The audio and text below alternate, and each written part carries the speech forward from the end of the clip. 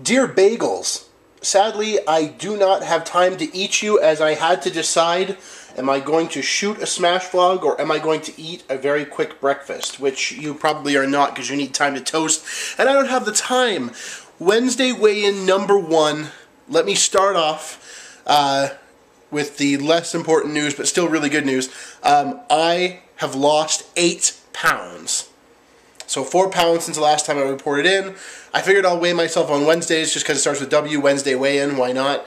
Um, and, uh, and I've lost eight pounds so far. So we are doing well and uh, still haven't had a single sip of pop.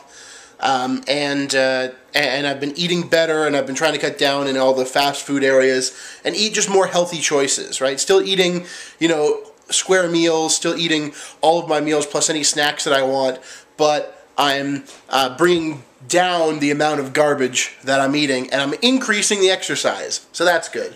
Uh, whew, trying to have as much energy as I can.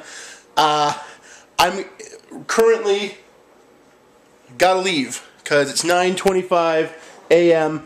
and I'm headed to the dentist to remove one of my teeth because it has abscessed or whatever. Uh, thanks to the medical miracle that is ice. it's it's not hurting right now, so I'm able to shoot this vlog.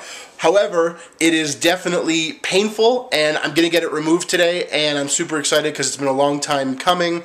Um, and even though I do brush my teeth, it's still I don't know what the dentist said. I can't remember, but it's something to do with like my tooth and not flossing or something properly. But whatever. Uh, anyways, brush your teeth and floss do that stuff because then you end up like this. So I'm gonna have a tooth removed today. Hopefully, I'll shoot a smash vlog right after that and show you what it what it looks like to have you know Jimmy after the dentist. But uh, that's it. I don't have time for a long vlog, but I lost eight pounds and I'm getting a tooth removed, and that really sucks. But you know what? I'm gonna power through it because I've got some wicked online friends and some good friends and family in real life. But uh, clap your thumbs if you believe. All kinds of extra love to you and uh, Jimmy Smash.